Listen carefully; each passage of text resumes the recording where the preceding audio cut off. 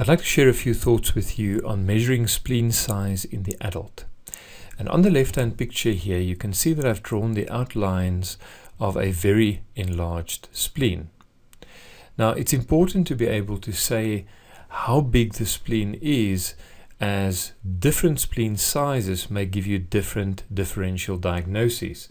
And usually we would divide spleen sizes up into sizes less than 4 centimeters, which would us usually mean, so let's say less than 4 centimeters, which usually implicates mild splenic enlargement.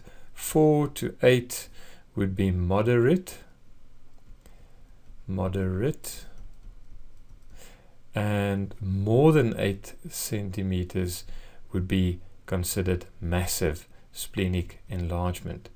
But where do we get these numbers from? If we say it's less than 4 centimeters or 4 to 8, what does that actually mean? Now the measurement that we do is taken from the point where the midclavicular line transects the lower costal margin. If you see here, the lower costal margin runs more or less along that area and the midclavicular, midclavicular line is this vertical black line that I've drawn for you there. And where these two lines transect, that is your starting point for measurement.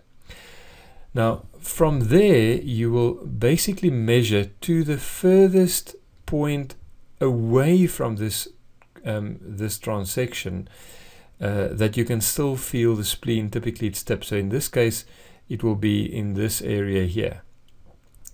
So if we then measure in centimeters, okay, it must be a straight line, of course, but if you take that measurement in centimeters, then that will be your spleen size.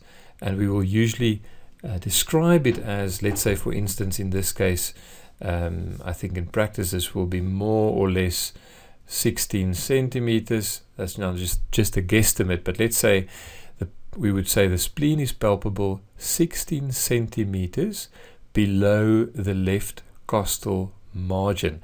And note that we are not measuring in a vertical direction, which is something we'll do with the liver.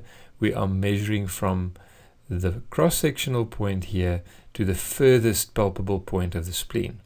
Now, one of the biggest mistakes people make here is that they actually put the midclavicular line in the wrong place. And it's very important to find the correct area. Many people sometimes confuse the midclavicular line as the line that goes through the left nipple. And this is not true. The left nipple can be very mobile, can be in many different places on the chest, and it's certainly not the same thing as the midclavicular line. So to find the midclavicular line, and I'm going to take you to the drawing on the right here, you must take the midpoint between the sternoclavicular joint, which I've marked with a cross there, and the acromioclavicular joint, which I'm marking there. So the halfway mark between those two points would be the midclavicular line, and one must look very carefully to where it would cross and transect the lower left rib margin. In that way, the measurement becomes standardized and clear, and you can talk to anybody in the world and you will be sure that you, you are talking about the same thing.